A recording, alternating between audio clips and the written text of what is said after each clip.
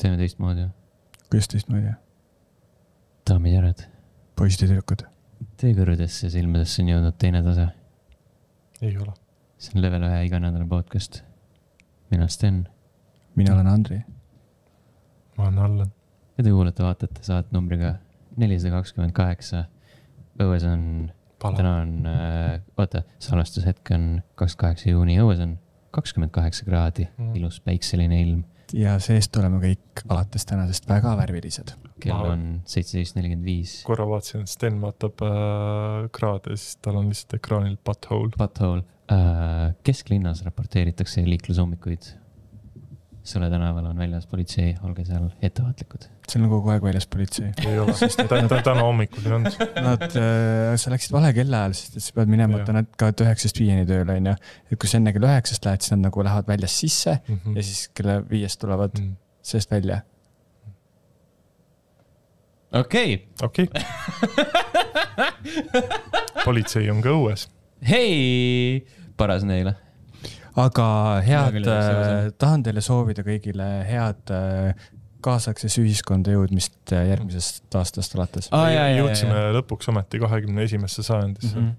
Eesti riigis võeti vastu selline asi nagu abieluvõrdsus, mis tähendab, et äh, selle saate lõpus võib juhtuda, et me võtame särgid seljast ära ja hakkame suudlema. -hmm. okei okay.. Aga ei pruugi. ei pruugi, aga võib, sest see oht on, oht on õhus, sellepärast et nüüd on, nüüd on kõik, kõik mm Mhm. -hmm. lubatud. mm..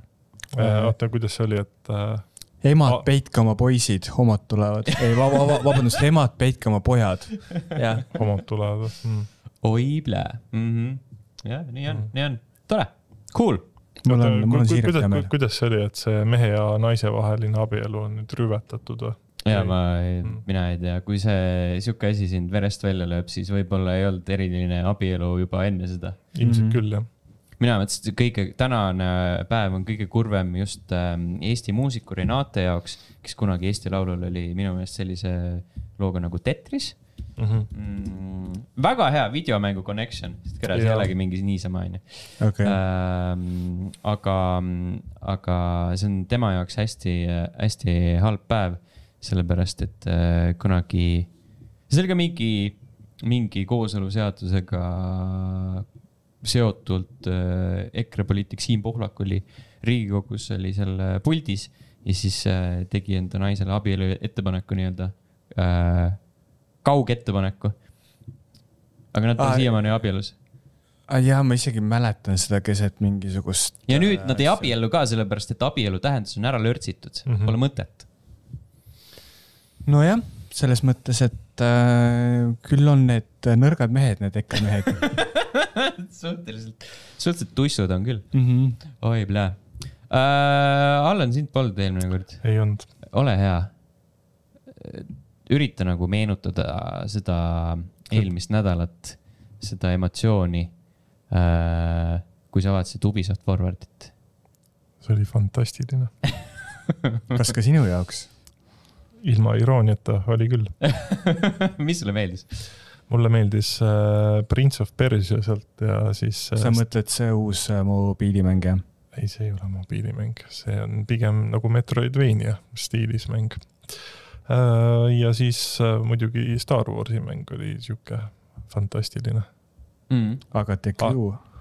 oi, see, see oli ikka nii bängar, et see Vitsika tuli tagasi seda irooniat. see, see nüüd on irooniaga, et see oli sihuke ehe Forza Horizon kolme rip-off lihtsalt. mõtlesin, et kui unikaalne mäng ja mulle meeldis eriti see, kuidas see, kes esitles seda mängu, et ta oli nii vaimustuses sellest, et justkui nad oleks midagi täiesti omanäolist välja toonud.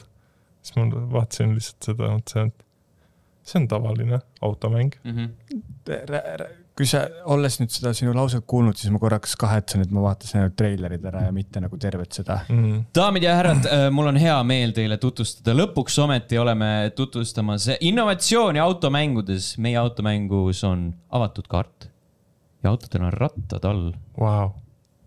ja see toimumiskoht oli vist suht sarnane nagu Forza Horizon viies jah. Et äh, see oli ja kõige fantastilisem mäng muidugi, mida, millest ei saa mööda kuidagimoodi, on Avatar. aa jaa, see avatari eh, klipi puhul eh, oli nii põnev näha seda, kui ebaühtlase graafikaga ta oli. mm. -hmm. läbivalt see kõikus nii kolossaalselt. seal pigem minu jaoks oli kõige suurem küsimärk, et miks nad äh, väga palju pendeldavad selle kolmanda isiku vaate ja üksikisiku vaate vahel, et äh, oleks see oli kolmas ka või?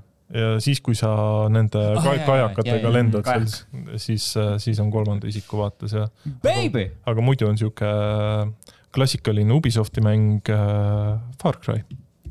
lihtsalt avatari maailmas. kas äh, seda nägid, et äh, avatari filmid äh, lükkasid edasi?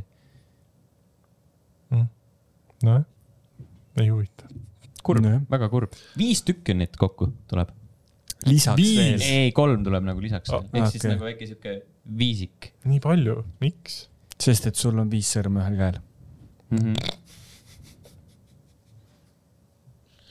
aa, see on vist seotud ju sellega, et sul on nagu maa, vesi, tuli, õhk jobi.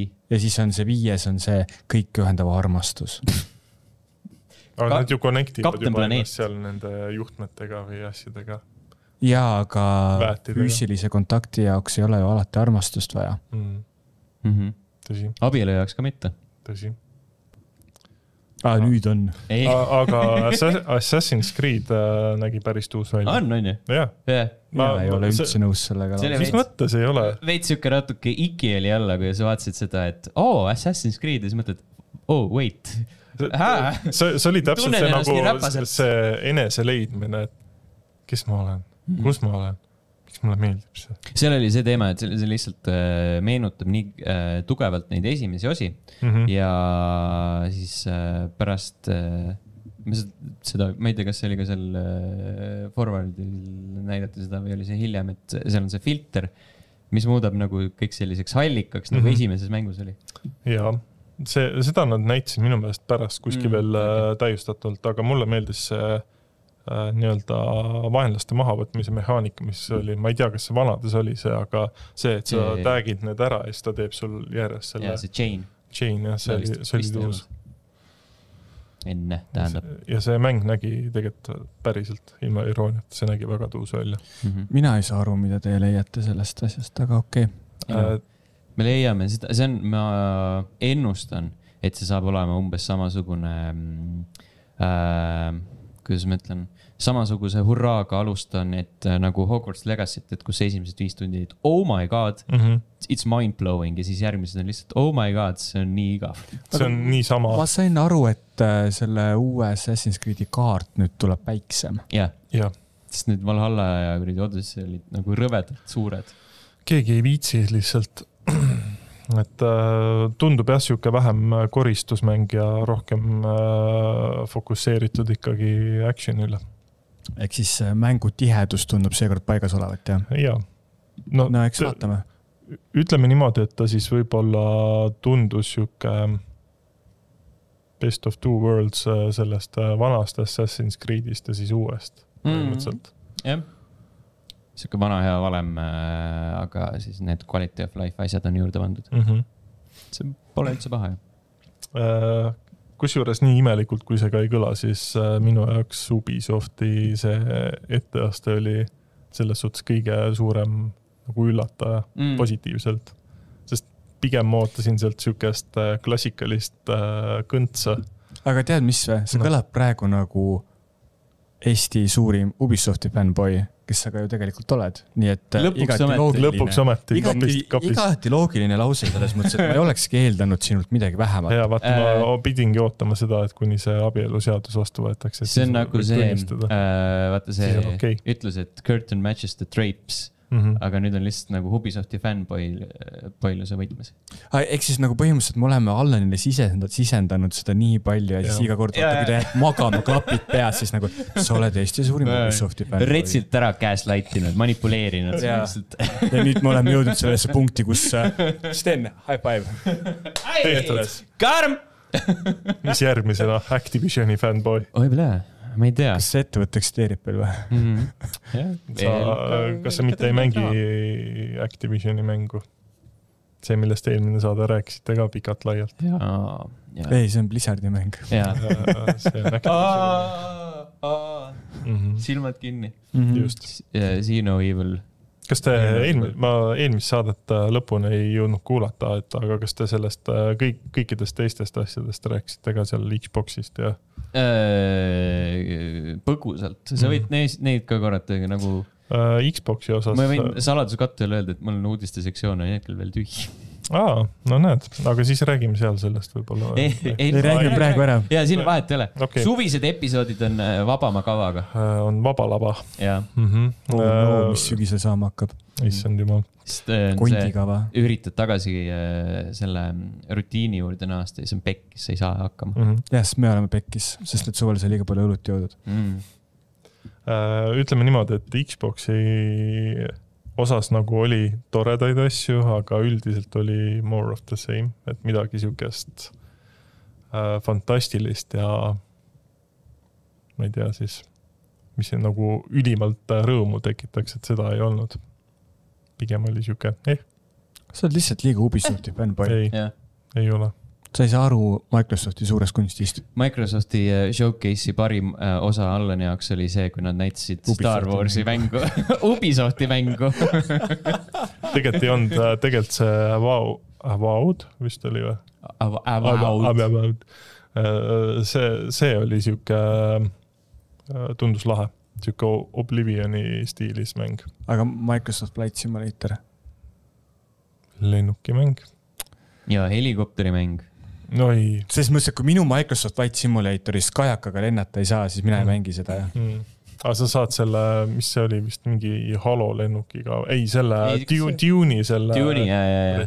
Kas, äh, liblikaga lennata seal. Halo oma ei olnud eelmises juba. ja Halo oma oli eelmises jah. aga see äh, Flight Simulator oleks äge siis, kui oleks see täis setup, et sul on need kõik juhtkangid ja asjad ka olemas, siis ta oleks kas sa oled vaene või? ei, aa, nojah, siis kogu raha läheb Ubisofti mängude peale. jah, ei lähe tegelikult auto alla.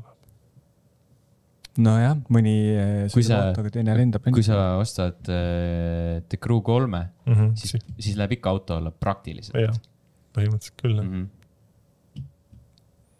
nii ta on.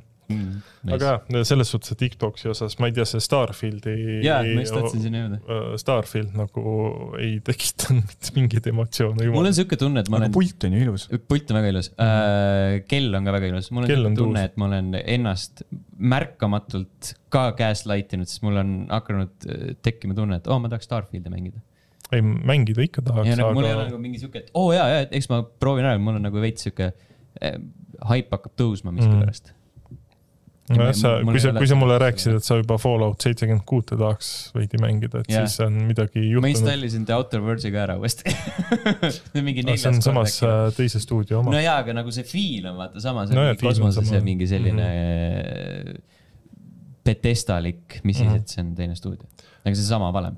ma olen üsna veendunud, et äh, Starfield võib hea mäng olla, aga ta lihtsalt ei tekita praegult veel seda nagu palavat ootuselevust. muud asjad tekitavad palavat elamust. minu meelest selliste mängude kõige suurem probleem on see, et ta võib nagu tore olla, aga kui sa ei suuda seda nagu sisu tihedana hoida, siis see Mhm. asi lihtsalt hakkab nii jõhkralt laiali valguma, et nagu mis on see sinu motivatsioon neid tuhandet planeete külastada?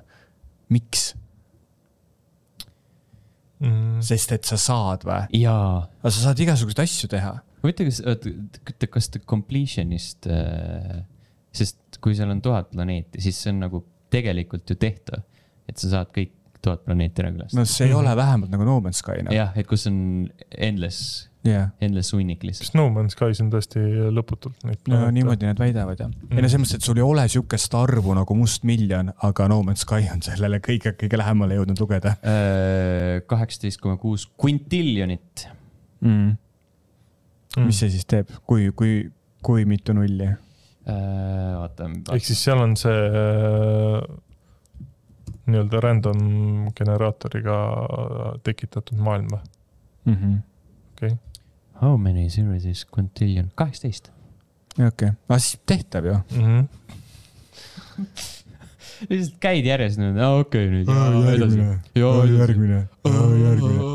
Ma hakkasin äh, Diablo neljas nüüd Liliti kujusid korjama, siis juba seal mingi kümnenda peal mul tekkis siuke tunne, et oo järgmine nagu miks ma teen seda miks ma teen endaga seda, jah. samas äh, Zeldas äh, Shrine äh, teha on täitsa fun, sest Mm. iga shrine on erinev. mul mul ei teki selles sellist äh, tunnet, et äh, hakkan nüüd jahtima midagi, et hakkan nüüd järjest raine tegema, Mm -hmm. sest alati on seal midagi, midagi jääb tee peale. sealsamas nagu sul ei saagi tekkida seda, sest sul on põhimõtteliselt iga nurga peal shrine. või noh, ta jääb nagu tahes-tahtmata, mingi jääb sulle Jah, tee peale ette. seda küll, no mitte, alati, aga noh. ühesõnaga, seal ei teki sellist, sellist tunnet, et oh, nüüd ma võtan nagu checklist'ina ette ja hakkan Mhm. asju tegema. aga jah. Enne veel, kui me täielikult siis äh, mängude peale ujume, kommentaarid podcast.level1.ee on selline kena tore veebiaadress, kus või emaili aadress, kuhu saab kirjutada äh, Facebooki, Twitterisse, Instagrami, Discordi, Youtube'i, igale poole saab jätta sõnumeid, kommentaare, pildikesi, ma ei tea, kuhu saata, Discordi. aga äh, alustame, alustame, alustame Discordist siis. Underdog kirjutas. Diablo neli on hea mäng, kui magama tahad jääda. olen kuidagi jõudnud äh, level viiekümneni ja story on peaaegu läbi. võrreldes Diablo kolmega, mille alla olen matnud enam kui neli tuhat tundi, on Diablo neli meh loodan, et uuendusi tuleb juurde ja mäng läheb rohkem atraktiivsemaks graafika osas äh,. oih, mäng läheb rohkem atraktiivsemaks, punkt. Graafika osas on nokkimisi, kuna mängin arvutiga kasutades telekat ekraanina, siis seadistused on millegipärast piiratud. Äh, väga vastuoluline kommentaar. sinna tekkis hästi palju feedback'i tagasi mm -hmm. ka, Mhm. kus äh, noh, ma olen ise hästi palju Diablo nelja nüüd mingisuguseid arvamusi lugenud ja kuulanud, vaadanud ja nagu vähe on inimesi, keda Diablo külmaks jätab. ehk siis, et sa oledki kas see, et oo, see on kõige lahedam asi või siis mm -hmm. Diablo kolm oli parem, onju. selles mõttes, et kui sinu jaoks Diablo kolm oli, oli parem, siis ilmselgelt Diablo neli ei olegi sinu jaoks ja see on täiesti arusaadav mm. -hmm. aga sellest hoolimata ju Diablo nelja mängitakse jõhkralt palju praegu, mis on täiega tore. teleka seadistuste osas äh, võib-olla ta kasutas, ma ei tea, HDMI null punkt viis juhet ja siis lihtsalt ei saanud sealt seda paremat pilti kätte, sest et nagu mitte ükski loogika ei ütle, miks sul peaks vähem seadmistamisvõimalusi telekas olema, kui sa mängid läbi arvuti. aga jah, ma ei tea see oli väga konkreetne.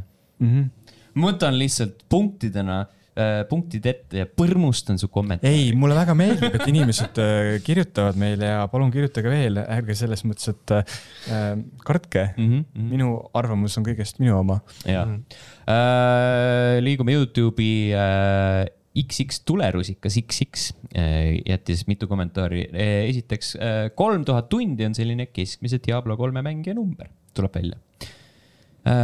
Lisaks veel ise ikka kõik käsikäes story, sidequest, map exploration ja Lilith statues, siis endgame'is äh, sai ainult endgame'i peale pühendada kohe äh, Druid äh,, mis ta on, World Tier neli.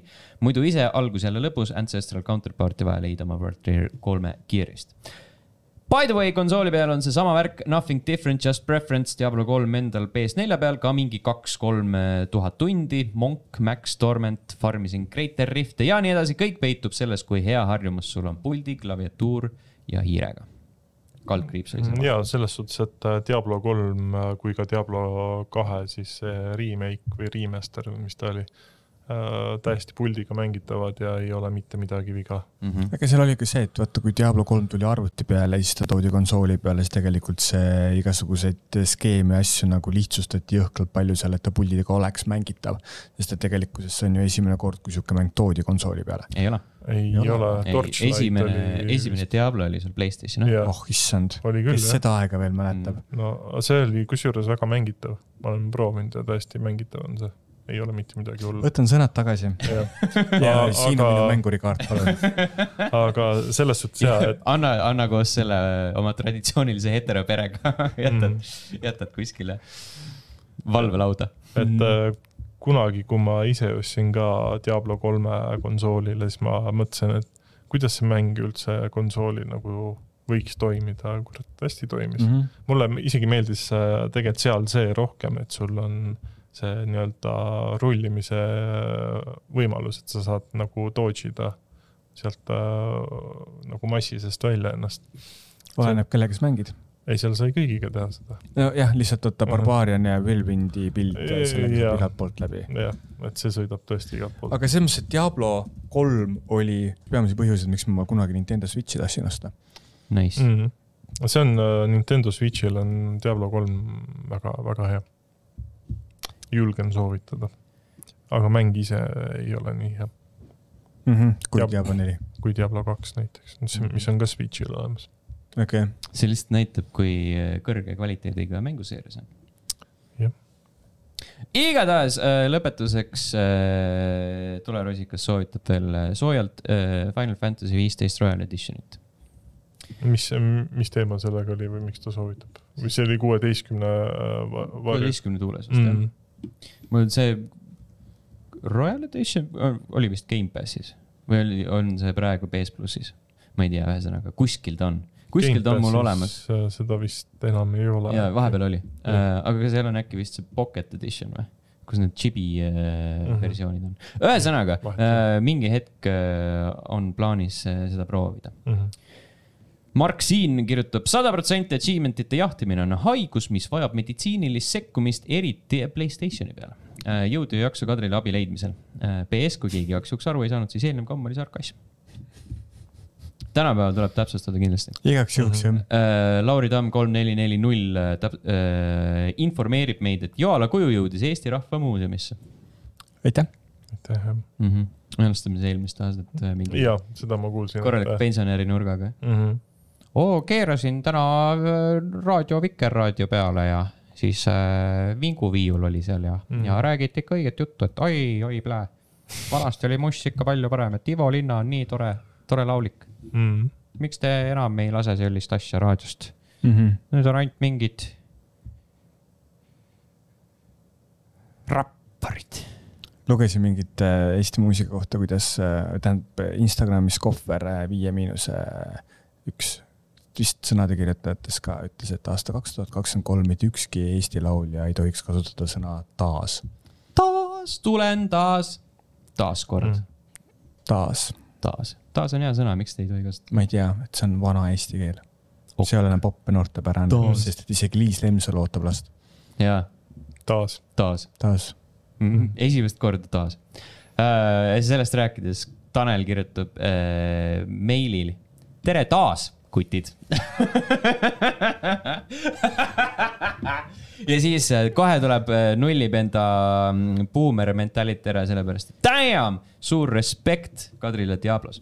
minu arvates Assassin's Creed Origins on parim ja soovitan kõigile seda. oli tore üllatus slaš vaheldus, et naisterahvas kah saates üle pika aja on, oli tore saade. oli küll tore saade jah, vaatajate arvud ka näitasid seda. Mm. nii et Allan, kus on su seelik seelik? ebarukas. mm. -hmm. Ei tea, ei ole. ma ei olnud vast- valmis selleks. ja igale poole jätke kommentaare, need olid äh, sel nädalal kommentaarid, järgmisel nädalal uued kommentaarid. parem oleks, et on. olgu olla. olgu olla. kurat. Andri, kuulan sind. räägi mängudest. räägi mängudest. Kas ma räägin siin üksinda Diablo nelja monoloogi nüüd või? ja, sest meie räägime nagunii teise, teise mängu Jah, monoloogi. jaa, aga see ei ole monoloog, kui te koos räägite sellest.. stereoloog. no räägi ikka mikrofoni, muidu ei saa me aru. võime no teha, kurat, siis pane seda detsibelli juurde, siis ma saan kaugelt ka kuskilt teisest toanurgast. ühesõnaga alusta. jah, räägi. Äh, Diablo nelja nüüd olen edasi mänginud, oleme elukaaslasega mängusiseselt põhimõtteliselt lahku läinud, sellepärast et mina tahan rohkem seda mängida kui tema ilmselgelt. ma olen sihuke level kolmkümmend kuus ja õpin äh, Barbariani nii-öelda meet game'i ehk siis aru saama, kuidas sellega päriselt neid bosse tapma peaks mm,.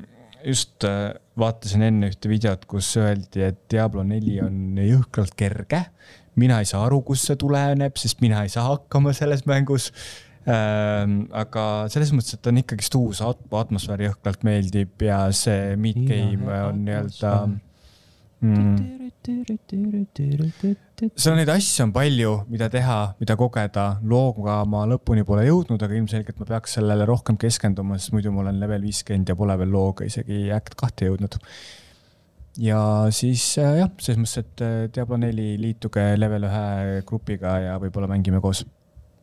hea reklaam. jah, teiseks ma mängisin Park Beyondi.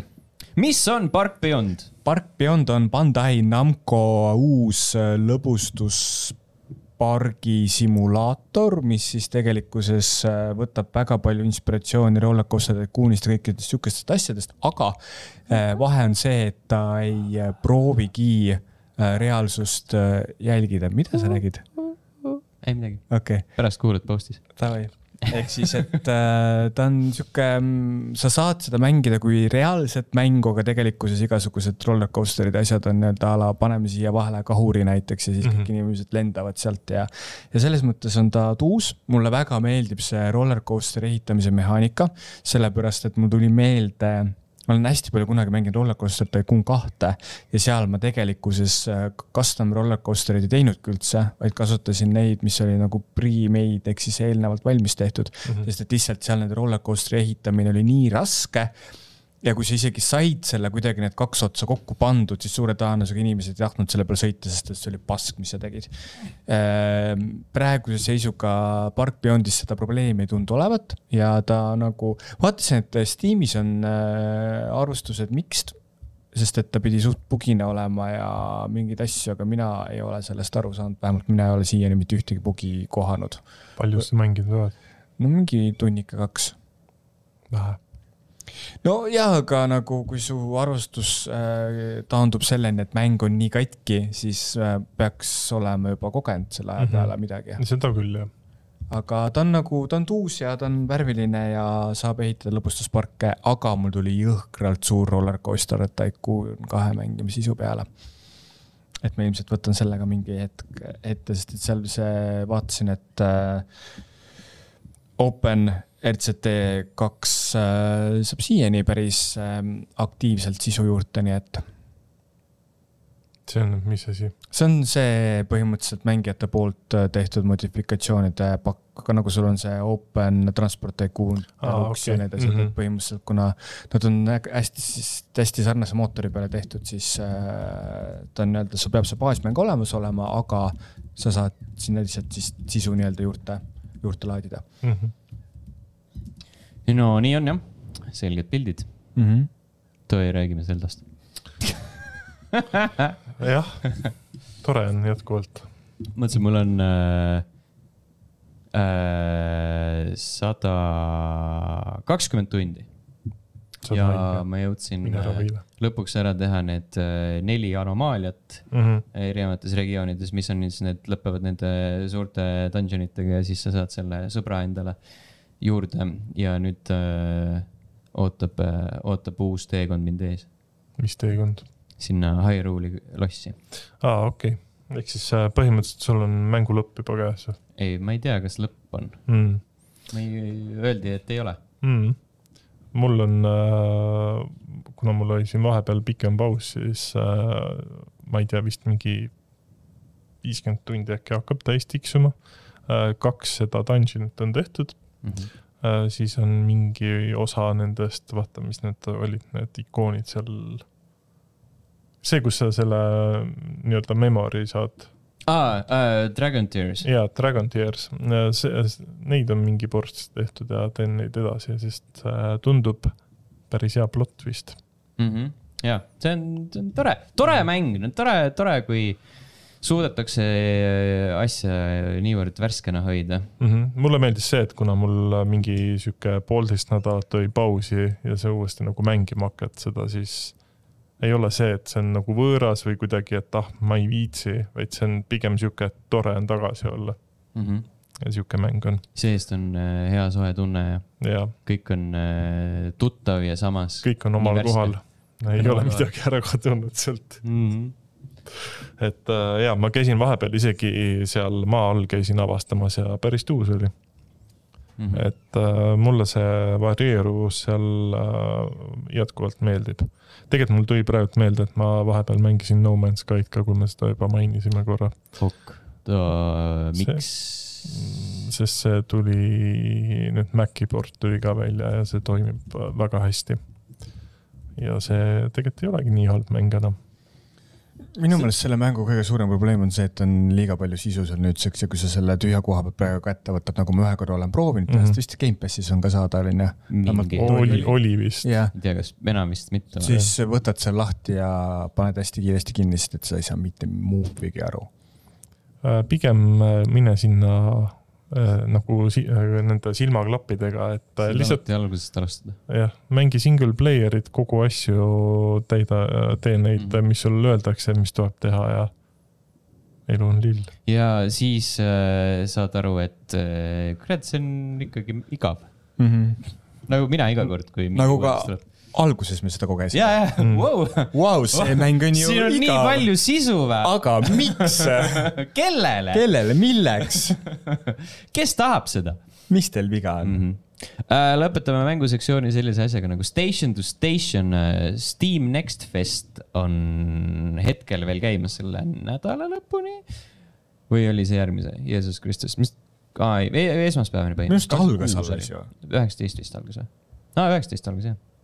Ma just nagu mõtlengi, et ma nagu alles täna jäi silma, et need uudised tulid, et Steam, ühesõnaga äh,, siis kui teie seda näete, siis on juba mitu päeva Steam Next Fest kestnud, mis tähendab, et äh, mitu päeva on raisus äh,, et mängida sadu erinevaid demosid, mis Steamis praegu saadaval on äh,. mina olen juba otsa lahti teinud äh, mänguga Station to Station, kus äh, põhimõtteliselt tuleb ühendada erinevad äh,, erinevad, jesus christ, ma näppisin natuke liiga agressiivselt mikrit. ära näpi nii agressiivselt. kas sul närvid Ah, ma ei tea, täna läheb hästi. ühesõnaga, kaardil on erinevad äh,, erinevad farmi hooned a la sul on äh, väike, väike tuuleveski, siis sul on äh, viljahoidla, sul on äh, äh, laut ja, ja, ja siis mis iganes hoone on, kus tehakse juustu. Juustutehas. juustutehas ja siis sa pead äh, kõik need omavahel ühendama raudteega äh, mingil huvitaval põhjusel. Ja need on kõik üksteisest nii kaugel mingil huvitaval põhjusel, aga, aga samas hästi tore on äh, raudteesid joonistada ja, ja siis näha, et jess, tehtud. nagu, sihukeste asjade transpordiks nagu raudtee on ju kõige kulukam. mina ei saa aru, miks nad lihtsalt üksteise kõrvale ei pannud. ongi noh, ma saan aru, okei okay,, tuuleveski võib-olla paned kuskile kõrgemale. kus on tuul kus on? tuul, onju, aga kuradi, sul on äh, laut ja, ja Mm. juustutehas nagu Mm -hmm. üksteise kõrvale, kapitalism juhhei, jah. Jeesus Kristus, nagu abielupaar voodis pange lihtsalt no., üksteise kõrval, jah. Ja nüüd ei ole oluline ka, mis soost Mhm. ma just tahtsin mingit, otsisin mõttes seda nalja, aga mm.. Station to station, ilus vokselgraafikaga äh, vaatasin treilerit, tundus lahe, tahan proovida. mm..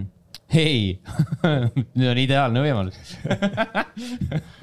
Uh, Need olid mängud sel nädalal, enne veel, kui me uudiste juurde liigume, siis uh, Youtube.com kaldkriips level üks ee, seal on selline tore kena nupuke nagu join. Sellele toet-, vajutades saate toetada meid, meie tegemisi uh,, ligipääsu mustale saatele, live stream'ide ajal, kui need toimuvad, kasutada meie lõustadega emojisid ning sel korral loeme need õigel ajal ette äh,. sellele nupule on juba vajutanud äh, inimesed nagu jutlustaja X, Rasmus, Andres, Rein, Mihkel, Kadri, Örü, Hanna, Donissium, Rallih null null seitse, Liina, Reio, Medved nelikümmend kaks, Jumal kuuskümmend üheksa, Lamao, Heiki, Karuonu ja Snapster, aitäh teile. aitäh teile. ja nii ongi Mhm. samalt Youtube'i kanalilt, mille aadressi ma just ütlesin, võite leida Lego 2K Drive'i video, kus me meenutame lapsepõlve ja ühtlasi ka level1.ee on äh, veebiaadress, kus selle leida võib, kui te Youtube'i kanalit äh, mingil veidral põhjusel üles ei leia. ja mängud, mis kahe podcast'i vahel ilmuvad, kahekümne kuues juuni Soul Wars, PC, Playstationid, Xbox'id, Switch.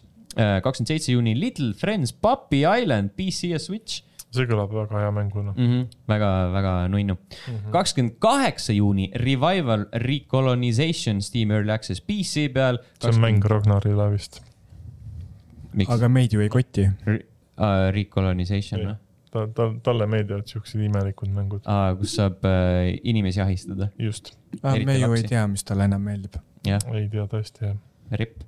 kakskümmend üheksa juuni Noob the Factionless PC, Playstationid, Xbox'id ja Switch ning AEW Fight Forever PC, Playstationid, Xbox'id, Switch. kas sa plaanid mängida seda? ma kusjuures äh, mõtlesin jah selle peale, et oi plää, see ju kohe ilmub mm. -hmm. peaks.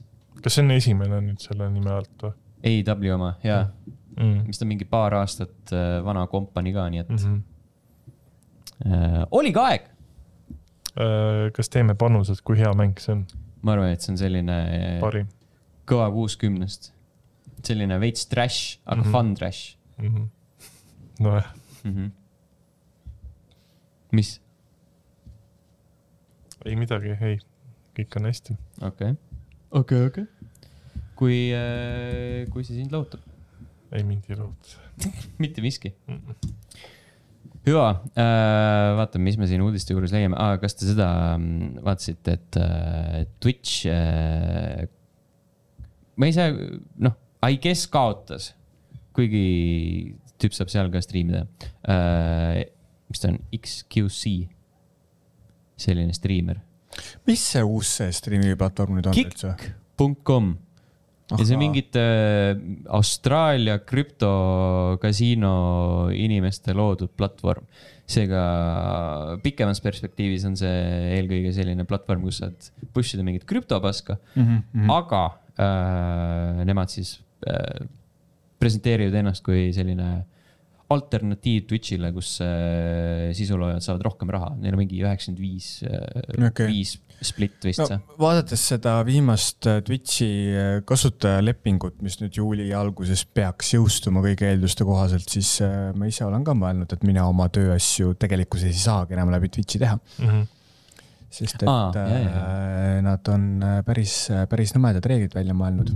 Kui mind muidu nagu ei ole kottinud see, aga siis nüüd see, et kui sul näiteks hardcode'id reklaame, et siis ei tohi oma ülekannetes enam äh, rekla-, reklaame vahele panna, siis nagu noh. kas nad seda ei revert inud või? see reklaami asja. ma Nad, tean, et seal need paljud teised äh, reeglid jäävad samaks.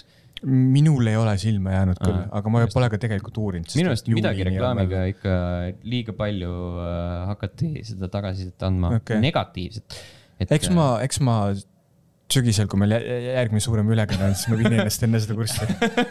nädal enne, heal juhul. ühesõnaga äh, XQC äh,, talle maksti, makstakse sada miljonit dollarit äh,. ja see ei ole isegi eksklusiivleping, ehk siis ta saab, ta striimib Kikis, aga ta saab striimida ka mujal, muudel platvormidel mm.. mida ta on teinud ka, ja, ja, ja mida ta on põhimõtteliselt teinud niimoodi, et alustab Twitch'is ja siis äh, ütleb, et davai, nüüd lähme Kikki. Okei mis, on nagu huvitav sihuke, noh, jah, huvitav viis äh,. ja siis see on kaheaastane leping, see on, mis ta oli, mingi kolmkümmend miljonit aastas ja siis kolmkümmend viis, ei, kolmkümmend viis miljonit aastas, siis on kolmkümmend viis on veel eraldi mingite ähm, boonuste näol, et ma ei tea, sul mingid eesmärgid, mida sa pead saavutama, et ehk siis see, see nende vaatajanumbrid ja mingi siuksed. eesmärkide saavutamiseks, siis sa alustadki oma ülekandeid Twitch'is ja, ja siis ütled, et me läheme kõik sinna. mm,. Okay. sihuke päris hea, siin äh, hea võrdlus toodi välja, et äh, näiteks äh, Lebron James mingi eelmisel aastal sõlmis Lakersiga ka kaheaastase lepingu ja see oli üheksakümmend seitse miljonit. kuskilt jäi mul silma, et Amorat äh, kolis ka nüüd sinna kuhu, Kiki või Kiki jah mm.? Äh, jaa, In shock move away from Twitch, vaatame, pole sinna jõudnud veel. äh,? ma arvan küll, et Kikis, kuhu ta mujal minna on. ei, muidugi, muidugi jah. Issand, andke mulle number. aa, okei okay,, siin ei olegi midagi, lihtsalt äh,, lihtsalt läks tema minu meelest tal ei olegi väga rahaasjadest rääkinud ju. mm.. sa mõtled, et kas ta Twitch'ist raha kätte sai või mis? Ei no lihtsalt see, et tema mingit oma partnerlepingutest ja asjadest mm., et ta on Mm. ju öelnud küll seda, et ta mingisuguseid äh, bensiinijaamasid ja mingeid asju kokku ostab, aga -hmm. okei see on okei okay.. tore. vähemalt äh, Eesti mees vist mõistetigi süüdi, kes teda käis seal Aa, vahistamas. aa, see oli see, Jaa. tea. Mm. see on, sa pead ikka nagu äärmiselt haige olema, et ma saan aru, et see tüüp ju lendas Eestist jah, müüs kõik asjad maha siin Eestis ja siis tõmbas sinna sellepärast, et äh, ta sai aru, et äh, Amarat vaatas talle silma, kui ta Mm. pitsi ülekannet tegi Mhm. ta flirtis just minuga, siis kui ta mikrisse peeretas. hästi. Allan, nii tore, et sul on kõik hästi ja sa kunagi ei kaldu kuhugi suunas. naudid lihtsalt seda saadet. jaa, see on lihtsalt imelik, on see. no aga samas selles mõttes, et kui sa natukenegi emotsionaalselt ebastabiilsem oled, siis kõikide siukeste nii-öelda st- striimerite tegevus on ju suunatud sellele, et sinu käest raha kätte saada mm. Mhm. seda küll, jah. et äh, ma arvan, et kogu see nii-öelda manipulatsioon ja kõik siuksed asjad on nagu jumala teema, kuni Mm. siis sinnamaale välja, mis ma ükskord lugesin, et sul on OnlyFanis need ähm, agentuurid, et te- tegelikult see inimene, kelle OnlyFansi sa jälgid ja kellega Mhm. sa enda meelest kirjutad, isegi tema tegelikult ei suhtle sinuga, sellepärast et sul on vahele võetud mingisugune agentuur, kus siis okei, üks inimene a la haldabki mingit viie inimese OnlyFansi kontot, kus ta siis suhtleb kõikide nende äh, suurte vajadustega noormeestega. Mm. okei. kompaktsete vajadustega äkki. Kas te sirgjooneliste vajadustega. äh, Amaranti ja OnlyFansi sisuga olete tutvunud ei ole, ei, äh,? jäi ükskord silma äh, illegaalsetel platvormidel okei okay.. mõttetu pask, aga nagu enamus sisu OnlyFansis. päris see on see, et kuradi level ühe OnlyFansis on ära tehtud, see oleks sisu olnud. see oleks sisu oi olnud. kurat oi, oi, oi, oi, oi. nii kahju, et ma mees olen. tähendab, et ma ei saanud ise seda teha, muidu Jah. ma oleks telli olnud iseennast tellinud iga hommik. mm.. ega põhimõtteliselt ole- mehe, meestel on ka OnlyFans ju, oleks saanud lihtsalt, see on, jaa, aga siis oleks ma Seda- aga kes, kes selle meeste OnlyFansi Mehed. eest- mehed mehed, vastavad? jah Okei. okay., seal äh, mõned vaatasin ühte int-, intervjuud ja tegelikult ikkagist nagu OnlyFansi maksev klient on mingisugune üheksakümmend protsenti mees. ja et sa võid olla näiteks nagu heteromees, kes teeb mm. -hmm. erootilist sisu, aga sinu jälgijaskond on ikkagist geid. mm. Kas ei ole mitte see case, et paljud äh, meespornostaarid alustavad homopornoga jah, sest see on kõige lihtsam viis Mm. mm. tööstusesse siseneda? või siis sulle siis. kas sina sisened tööstusesse või tööstus siseneb sinusse? jah, emb-kumb. jälle me oleme pornos. nende puhul tundub nagu korraga jah, mm.. korraga tulemine on ju alati hea tulemine. jaa, jah, lähme nüüd edasi. äh,.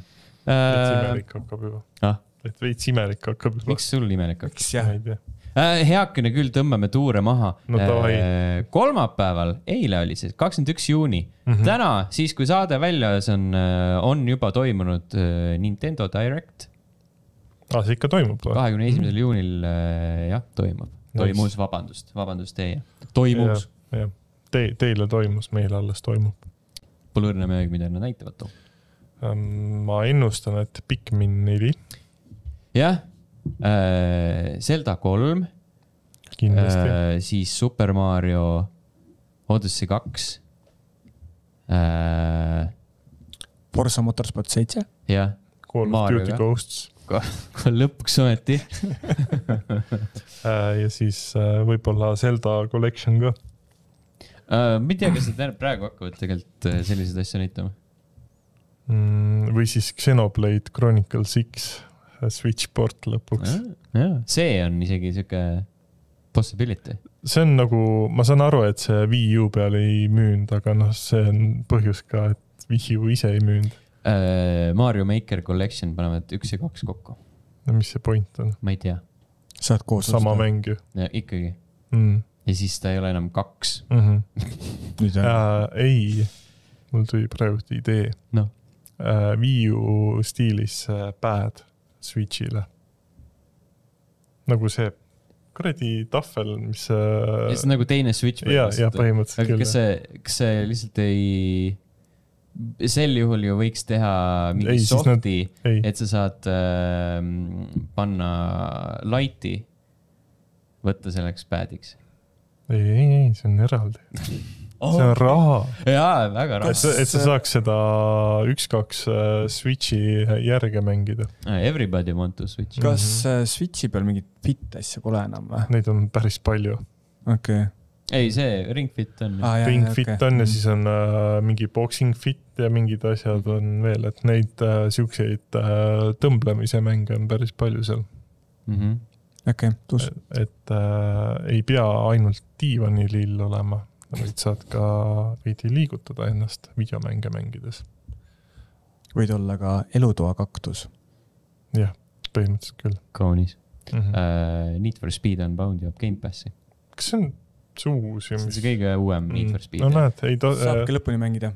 Sa, Mhm. saabki proovida ära lõpuks. sa, tegelikult oli see uus, aga seal vist oli ka seesama teema, et umbes mingisugune kümnendal tunnil vist vajus ära või? mm, nagu kõik, kümnendal tunnil alles said uh, lahti lukustada upgrade'i, mis tegi selle juhitavuse normaalseks. aa, või oli niipidi? tõenäoliselt, äkki mõlemat, ma pakun Mm. mm., et see on mõlemat. see tundub väga loogiline. mis sinna Gamepassi veel toob? mingi rämps, mingi Bramble ja Fist, see on see, issand jumal, mis ta pika, pika pealkirjaga on uh,. Forge in Shadow Torch okei okay., uh,, Story of Seasons, Friends of Mineral Town ja, ja, ja, ja, ja, ja Arcade Paradise. mm -hmm. Fairy Together Forever ka, Sword and Fairy, et Book Walker on siin mingi, oi plää, mingit, mingit sihukest pläusti ühesõnaga, mm -hmm. palju. no selge. Yeah baby.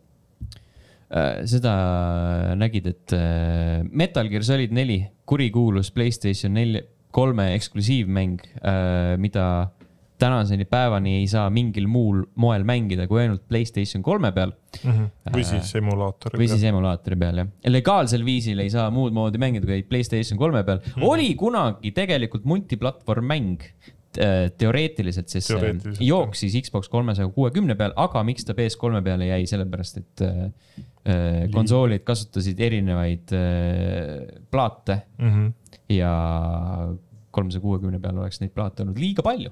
vist oota, mis, mis seal kirjas oli, et see mäng ise oli vist mingi viiskümmend kaheksa giga suur või oli isegi suurem.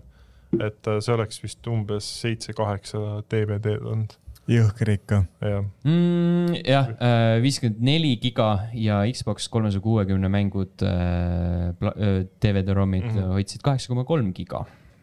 no ikka mm. -hmm. see. oleks sul ikka päris, päris mitu plaati jah. mõtlen LA Noir oli vist kolme plaadi peal näiteks, okei okay.. mis oli päris rets, oli vist kolm plaati. palju plaate GTA ma viiel oli äh, Xbox'i peal? üks, üks? äkki okei. ma ajan mingit paska lihtsalt praegu. oota, oota nüüd ma tahan. nüüd, sa pead kontrollima, lihtsalt mõtlen seda, et äh, Playstation kolme peal GTA viie installimine oli nagu võttis terve igaviku. ja, ja, aga arvuti Vabandust. peal oli ka, GTA viis kaks plaati. arvuti peal oli ka mitu plaati GTA viit. arvuti peal oli seitse DVD-d ja, ja, ja, ja arvuti peal on need alati mingid rõvedad olnud. see tuletab meelde, kui mul üks kolleeg oli ja. juba õnnelik ja siis ostis PC versiooni, aga tal, tal oligi see, et ta siis, kui äh, nagu arvutis hakkas installima, siis ta avastas, et seitse DVD-d. sellega seoses mul tuleb meelde Hitman, mille ma ostsin äh, plaadi kujul ja siis tegelikult seal oli võti kaasas, aga selle jaoks, et seda võtit aktiveerida, sa pidid plaadi sisse panema siis see kihikennis sulle Steam'i võtme, Mhm. aga mul ei olnud plaadilugejat tollel ajal enam. jah, mul on ka see riiulis olemas äh,. LA Noiril oli ja kolm plaati püha jumal. Xboxil. nii et äh, ikka, ikka, ikka, ikka, ikka. see on tore, et äh, me järjest äh, digitaalsema peale lähme, jah, vähemalt no, arvutimängijana. Mm. see sõltub, et äh, no arvutimängijana on see minu Mhm. meelest nagu noh, lihtsalt seal see kuidagi, no sul me, on, me oleme altimad vastu võtma uuendusi. jah. ütle, ja siis ütleme niimoodi, et arvuti peal on sul äh, vähe stabiilsemad äh, need nii-öelda keskkonnad ka, et kus ei tu- tule pidevalt uut generatsiooni. jaa, seda ka.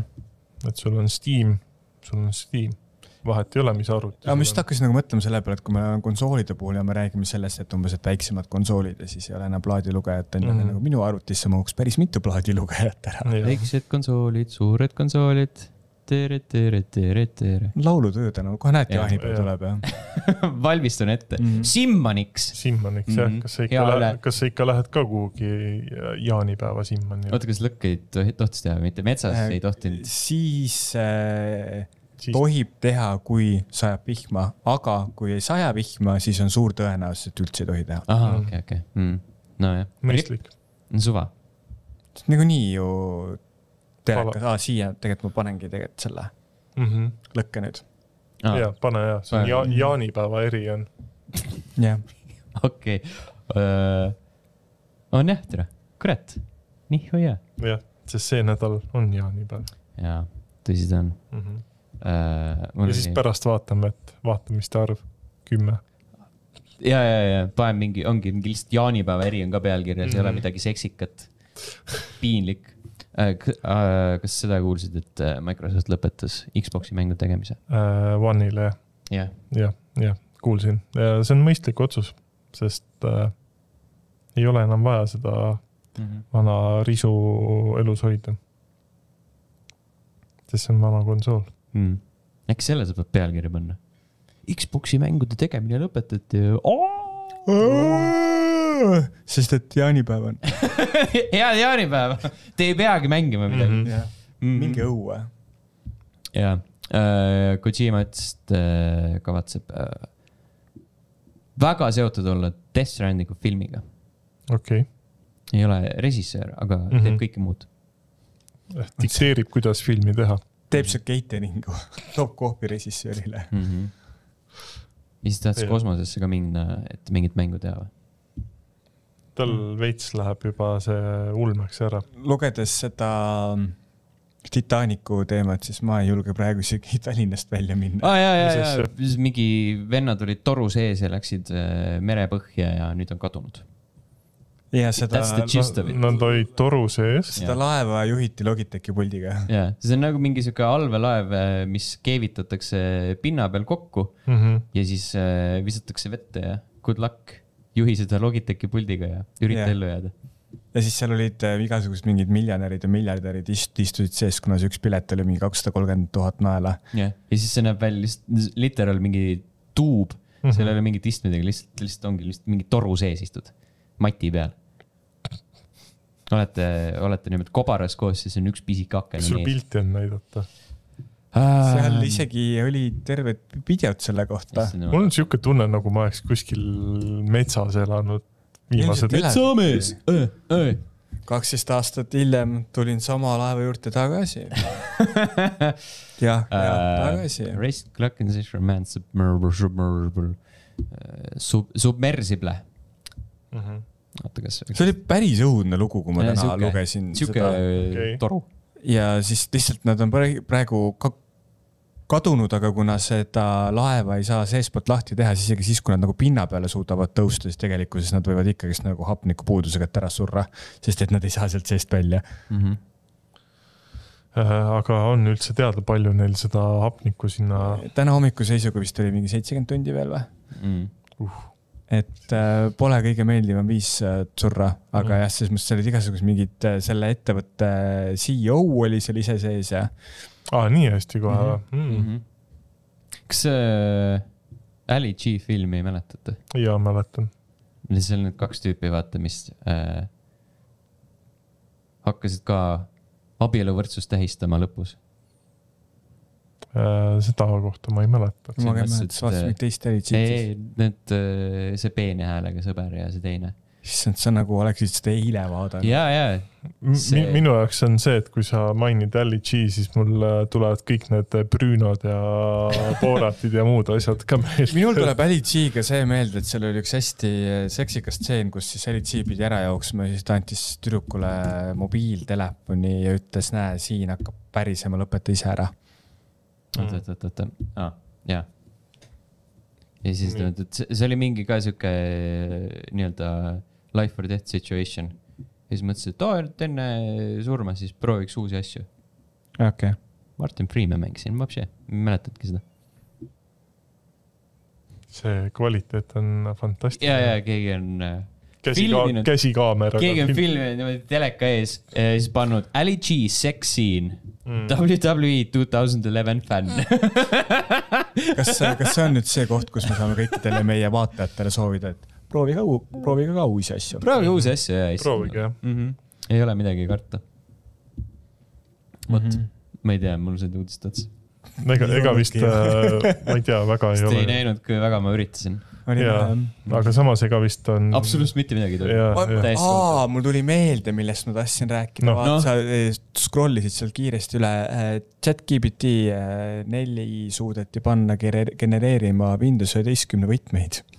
Nice. aa, nii hästi kohe et see, see ei olnud nagu see täisversiooni võtmed, et see on nagu mingisugune limiteeritud Aa. võtmed mm. -hmm. aga põhimõtteliselt kasutati sedasama asja, et eh, minu vanaema luges mulle unejutuks eh, Windows üheteistkümne võtmeid, et palun genereeri mulle ja siis nagu, et ja, ja ma loodan, et sa nüüd saad magada bla,, blablabla ja need pidid täiesti töötavad võtmed olema.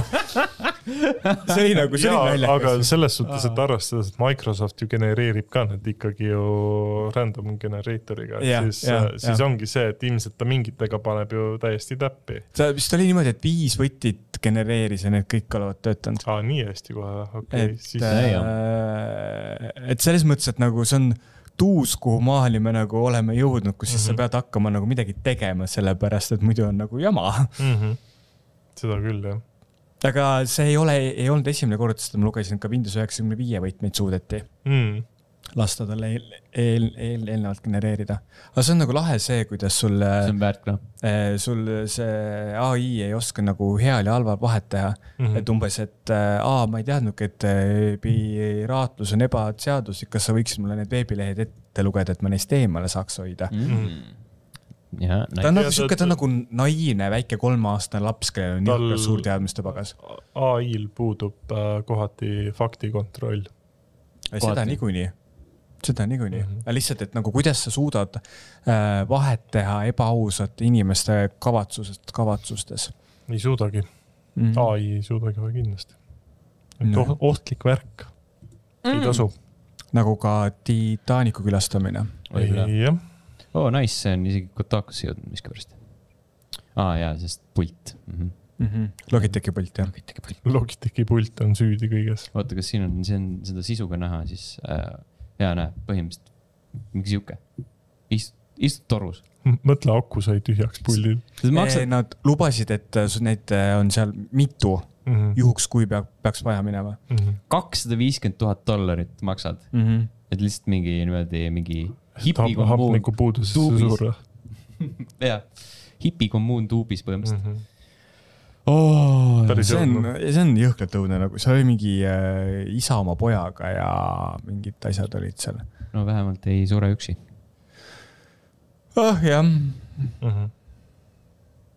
jah vähemalt ei jää teineteist leinama. mm. -hmm. loodame, et nautisite tänast saadet ning soovime nüüd näha teid ka järgmisel nädalal. pidage turvalist jaani. seniks aga siin on Jaak Jaala Kuuvalgel ööl Ah? mul pole, kas Jaak Jaala Kuuvalgel ööl on mingi asi? ma teadsin äh, Kuuratsanikud kuuvalgel ööl. nagu sa seda nägid ei, see oli see nali. mm? -hmm. öölaul Jaak Jaala ja College eh, Stereo või Mm. Jaak Jaala ööd Chicagos no või, Jaak Jaala suvi, kus ta laulab eh, midagi Kuuvalgest või suveöö. Oi plää, Jaak Jaala, oi plää, mm. miks enam ei ole häid muusikuid? ainult mingid pask, ainult mikrisse peeretad. kõik räägivad ainult seksist ja panemisest.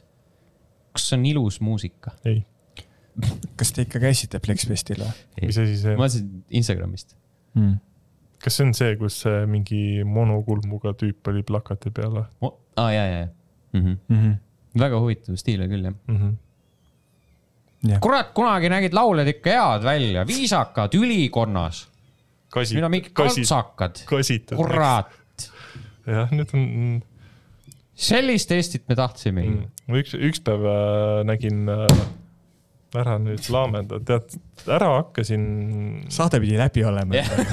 see on must materjal, see on tasu, tasu eest, ema, sul on must materjal. kõik, on puhas.